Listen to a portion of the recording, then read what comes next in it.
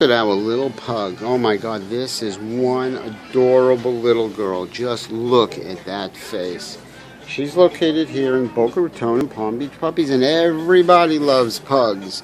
So why should you be any different? Come take a look at our little baby girl. She's going to be small. She's not going to be large. So come to Palm Beach Puppies in Boca Raton. Take a look at our female pug. Hey.